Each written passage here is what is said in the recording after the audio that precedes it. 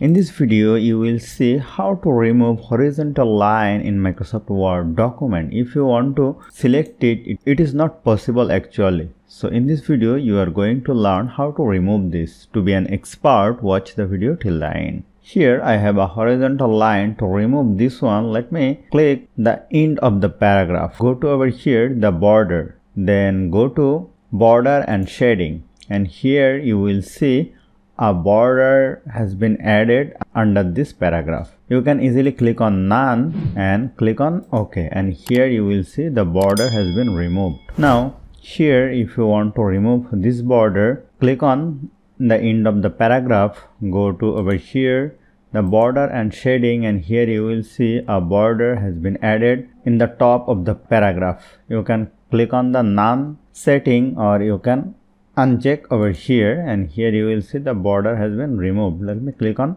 ok and you will see this is perfect. So hope you found this video helpful. If you like this video please share this video with your friends and family and don't forget to subscribe. Thank you